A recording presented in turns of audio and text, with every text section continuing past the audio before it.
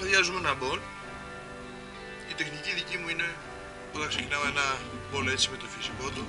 Ξεκινάω με αυτό εδώ, το οποίο είναι σκληρό μέταλλο. Είναι οβάλ μπροστά. Συνήθως αυτά είναι τετράγωνα.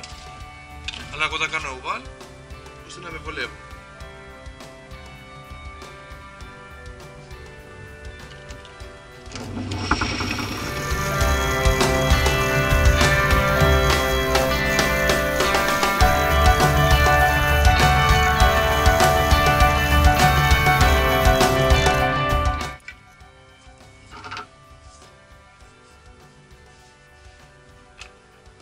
Μετά συνεχίζω. Με ένα βάλ που έχω φτιάξει. Από λίμα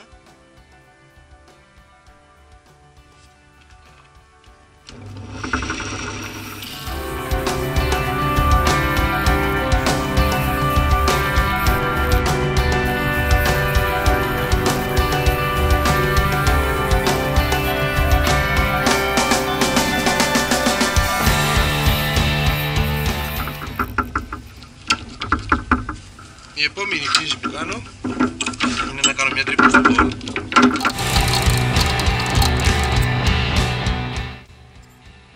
Με αυτό εδώ το τρυπάνι. Είναι ένα γνωστό τρυπάνι με ντεσέ.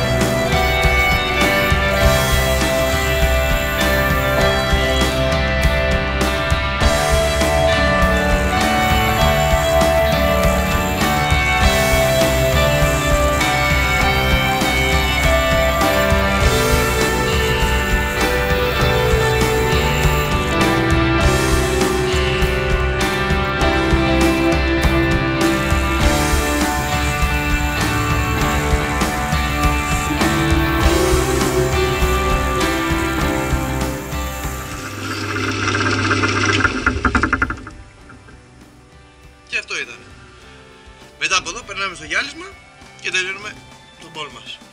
Ευχαριστώ πολύ.